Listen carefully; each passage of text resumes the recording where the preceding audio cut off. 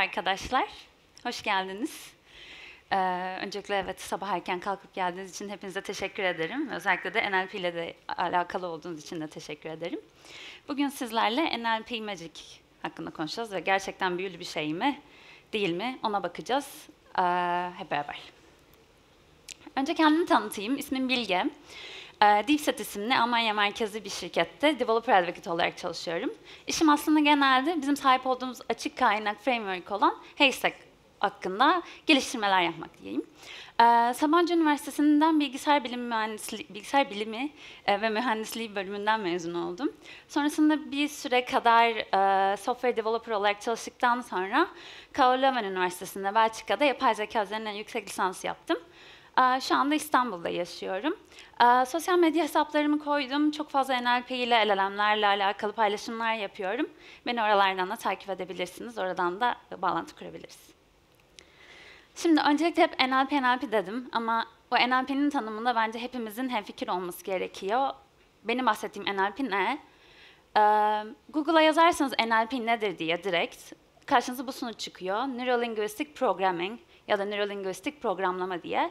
Ama e, benim bahsedeceğim NLP bu değil maalesef. Ben e, Natural Language Processing olan doğal dil işleme olarak çevirdiğimiz Türkçe'ye NLP'den bahsediyor olacağım. Ee, ve NLP'yi kısaca tanımlamak gerekirse aslında bilgisayarlara, makinelere insan dilini anlama, işleme, yorumlama yeteneği veren bir makine öğrenmesi teknolojisi. Sunumun özeti bu şekilde olacak. Text embeddinglerden bahsedeceğim size. Vector database'leri konuşacağız. Retrieval'ın tanımını yapacağım. LLM'lerden ve uzun haliyle large language modellerden bahsedeceğim. Ve sonra en sonunda da bütün bu konseptleri birleştirerek nasıl bir yapay zeka uygulaması, daha spesifik olmak gerekirse Generative Question Answering Application yapabiliriz. Onu göreceğiz. Aranızda bu terimlerden hiçbirini duymamış olan var mı? Okey. Hepsini duymuş olan var mı? Okey, tam ortalamada çalışıyoruz. Yani herkes bir iki bir şey duymuş herhalde genel salon ama e, çok güzel. Demek ki herkes bu sunumdan kendine bir şeyler katabilecek. E, text embeddinglerden bahsedelim ilk başta. Şimdi text embeddingler şöyle başlıyor. Bizim için insan dili çok kolay, anlaması kolay bir şey. Kelimeler var, cümleler var, daha uzun paragraflar, metinler var. Yani ben size to be or not to be dediğimde, biz bunun eğer felsefi tarafını bir kenara bırakırsak benim ne demek istediğimi az çok anlıyor olacaksınız. Ee, ama makineler için öyle değil. Makineler bizim konuştuğumuz dilin aynısını konuşmuyorlar. Onların dilleri farklı, onların dilli, dilleri sayılar. O yüzden de eğer biz makinelere bir şekilde to be or not to be e, cümlesini anlatmak istiyorsak bunu makinelerin diline yani sayılara çevirmemiz gerekiyor. Bunun için de kullandığımız yöntem aslında vektörler yani e, buna liste de diyebilirsiniz, sayı listesi de diyebilirsiniz, vektör de diyoruz. Ama NLP'deki bunun karşılığı text embedding oluyor. Bu yüzden de ben sunum içerisinde text embedding, text vektör bu kelimeleri çok değişken olarak kullanacağım. Bu konteks içerisinde aynı anlama geldiklerini düşünebiliriz. Şimdi ben bu teksti bu vektöre çevirdiğimde bu artık makineler tarafından anlaşılabilir olmuş olacak. Ve bunu yapmak için de genel hatlarıyla iki tane farklı tekniğim var. Ya sparse bir teknik kullanabilirim, TF-IDF, BM25 gibi. Bunlar biraz daha istatistiksel yöntemler. Ya da dense bir yöntemi kullanabilirim. Bu da aslında tamamen bu text embeddingleri yaratmak üzerine eğitilmiş bazı yapay zeka modelleri. Yani bu modeller neler olabilir? Sentence Transformers olabilir. Eğer Hugging Face ismini duyduysanız aslında Sentence Transformers, Hugging Face'te bulabildiğiniz modellerden, açık kaynak modellerden bazıları. Cohere veya OpenAI bunlar da çok büyük e, yapay zeka modeli sağlayıcıları diyebiliriz. Tabii bunu bu liste uzar gider. Her günde yeni bir model ekleniyor. E, genelde text vektörlerimiz 768 boyuttan oluşuyor. Bu tabii kullandığınız modele ve yöntemine göre bunun boyutu çok fazla değişiyor. Ama ortalama olarak 768 diyebiliriz. Mesela bu gördüğünüz şu andaki e, vektörün boyutu 8. Yani 768'den kastım da o. Şimdi 768 e, boyutta oluyor dedim genelde bu vektörler. Ama eğer bu sunumda bunu anlatmak isteseydim, yaptığım gibi ve iki boyutlu uzayda ben bunu göstermek isteseydim, kabaca kelimeler uzayda böyle görünüyor olurlardı. Text vektörleriyle beraber. Şimdi bunlar rastgele yerleştirilmiş gibi görünebilir ama rastgele değiller. Aslında onların kendi aralarında uzaklıkları ve yakınlıklarıyla alakalı olarak bazı e, ilişkileri var. Bunlar nedir? Eğer kelimeler veya kullandığımız teksler, embeddinglerini yarattığımız teksler anlamca yakınlarsa bu uzayda da yani vektörlerini yarattığımızda da aralarındaki fark yakın olacaklar. O yüzden baktığınızda mesela yukarıda yiyecek tarafı var. Salad, stew birbirlerine daha yakın. Fish onlardan biraz daha uzak ama fish aynı zamanda hayvanlara da daha yakın.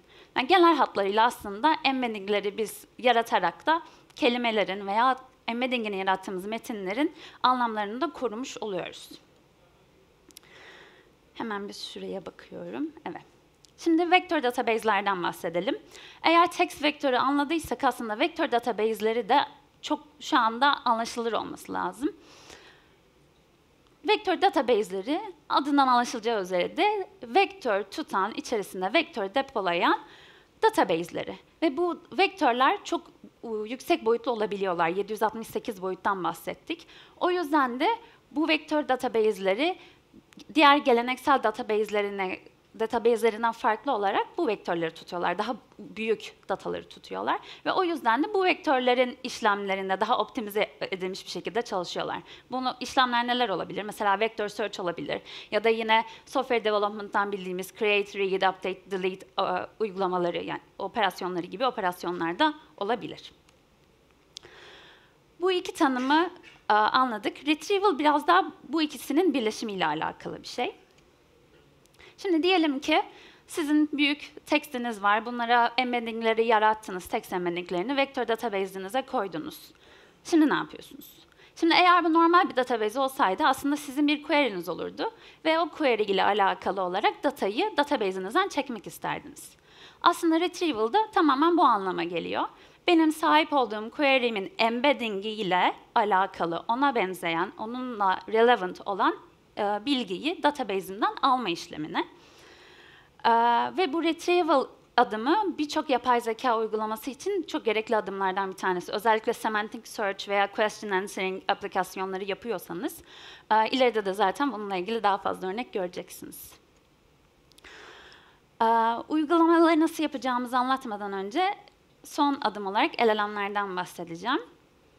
LLM'ler dediğim gibi Large Language Models kelimesinin kısaltması. Ama adından da anlaşılacağı üzere aslında bunlar sadece büyük yapay zeka modelleri. Yani çok e, farklı modeller değil bu zamana kadar sahip olduğumuz modellerden. Sadece biz son zamanlarda onu generatif yani üretken olan yapay zeka modelleri yerine çok kullanıyoruz. Bu modeller nasıl modeller? Ben bu modellere promptumu veririm ve bu model bu promptun karşılığında bana insansı bir çıktı, bir text üretir. Bunları generatif model diyoruz ve LLM'den kastımız da aslında genelde bu generatif modeller oluyor.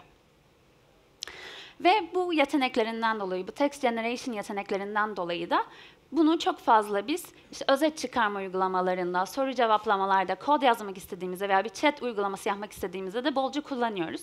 Ben mesela burada bu uygulamalardan bir tanesini kullandım. ChatGPT'yi. Birçoğunuz büyük ihtimalle bu arayüzle oldukça aşinadır. Ve ChatGPT'ye sordum. İstanbul'la alakalı bana bir şiir yazabilir misin? ChatGPT iyi ya da kötü anladığı şekilde bana bir şiir yazdı. Ee, ve burada küçük bir uyarı yapmak istiyorum. Şimdi ChatGPT aslında bu e, arayüze verdiğimiz isim. Aslında bunun arkasında çalışan modelin ismi farklı. GPT 3.5 Turbo gibi bir model. Ama biz genelde o modelin ismi biraz karışık olduğundan dolayı o modeli anlatmak istediğimizde ona ChatGPT diyoruz. Benim de aslında bundan sonra da ChatGPT dediğimde anlatmak istediğim şey o model olacak. Bu terimlerde anlaştık. Şimdi bu terimlerin hepsini kullanarak nasıl bir uygulama geliştirebiliriz onu görelim. Şimdi eğer ChatGPT'yi direkt uygulamama bağlayabilseydim ve ChatGPT'ye her şeyi yaptırmaya çalışsaydım uygulamam orada biterdi. Zaten bir tane arayüz yapardım kendime. OpenAI'ın Open API'ına kol atardı, biterdi uygulamam süper. Ama gerçek hayatta böyle değil. Ve ben denedim bunu. Kendimle alakalı bir soru sordum. Dedim ki Bilge'nin DevFest 2023'teki konuşmasının konusu nedir? Ve ChatGPT bana Maalesef bilmiyorum çünkü benim bilgim sadece 2023 yılının Ocak ayına kadar var dedi. Gerçekten de problem bu. Bu modeller çok güzel, çok şey yapabiliyorlar ama gerçek data yani onların training datası bittikten sonraki dünyada olanla bitenle hiçbir bilgileri yok. Ve ancak ben ona yeni data vereceğim, yeniden modeli eğiteceğim ki o zaman bu bilgilere dair bir e, e, bilgisi olabiliyor. Ama bunu çözmek mümkün. Nasıl çözerim? Daha uzun bir prompt yazarım. Bu promptun detaylarına gireceğim. Şu anda orayı okumaya çalışmanıza gerek yok. Sadece en aşağıda cevabın az çok benim sorduğum soruyla alakalı olduğunu görmeniz yeterli. Demek ki promptu bir şekilde değiştirebilince ChatGPT'nin de benim istediğim şekilde çalışmasını sağlayabiliyorum. Peki bu promptta neler yaptım? Bir yudum su alayım.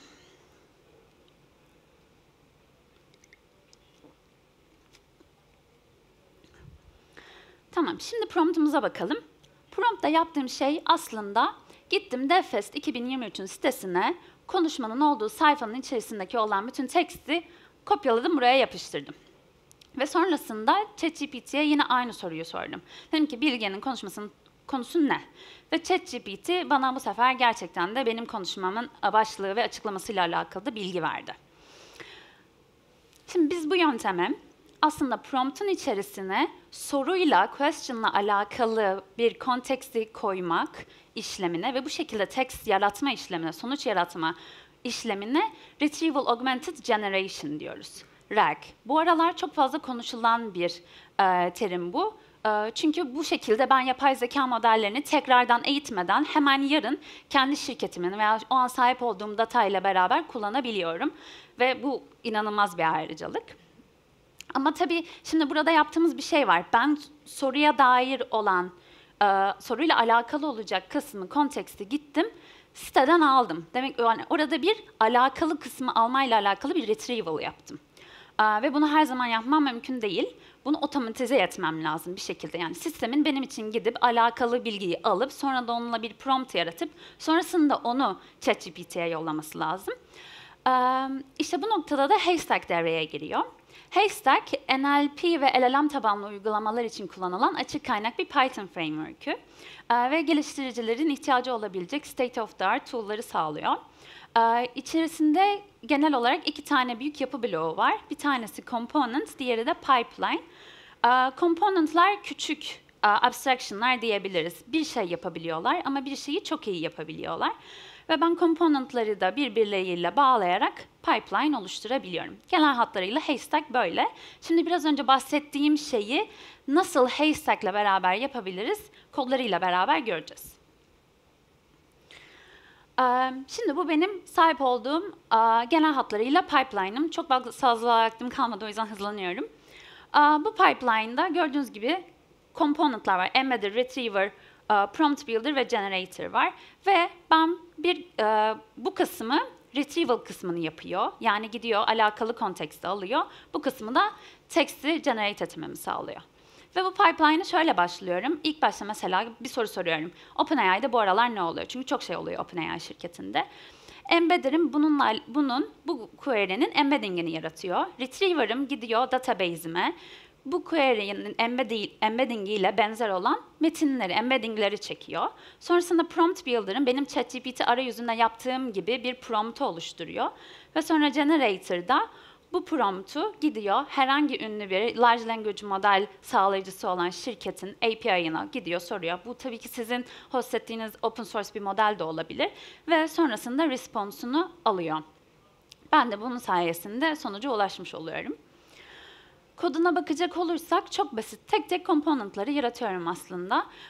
Bütün kodun hepsini ben bir Colab notebook'a koydum. Bu QR'ı okutup da o notebook'a erişebilirsiniz.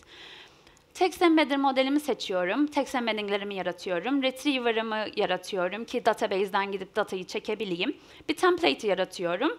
Bu template sonra prompt builder tarafından kullanılıyor. Ama orada süslü parantezleri görüyorsunuz. O süslü parantezlerin içerisinde işte prompt builder tarafından dolduruluyor sonra alakalı dokümanlar ve benim sorumla beraber. Ve sonra yine istediğim bir e, modeli seçiyorum. Ben burada ChatGPT yani GPT 3.5 Turbo'yu seçtim. E, böylelikle komponentlarımı yaratmış oluyorum. Sonrasında da bu komponentları öncelikle pipeline'ıma ekliyorum, sonra onları birbirleriyle bağlıyorum ve en sonunda da kendi sorumu tekrardan soruyorum. OpenAI'da ne oluyor diye. Ve bu sistem bana OpenAI'da son zamanlarda olan şeylerle alakalı bilgi vermiş oluyor. Şimdi eğer Haystack şu zamana kadar dikkatinizi çektiyse, bizim e, bu biraz önce anlattığım bütün bu kodlar aslında Haystack'in yeni versiyonuyla 2.0 beta versiyonuyla yapılmış kodlar. E, ve bu versiyonu önümüzdeki hafta Cuma günü duyuracağız. E, ve sonrasındaki pazartesi de başladığımız bir etkinlik olacak. Advent of Haystack dediğimiz. Bu etkinlik çerçevesinde her gün yeni bir e, e, görev olacak katılımcılara verdiğimiz ve amacımız aslında her gün önünüze yeni bir görev gelecek. Sizden Haystack'le beraber onu tamamlamanızı bekleyeceğiz. Ve 10 günün sonunda da eğer her günü tamamladıysanız e, güzel hediyelerimiz olacak size. İlgileniyorsunuz yukarıda da sitenin e, URL'ini koydum.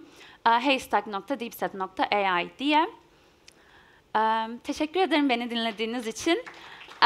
Buraya da yine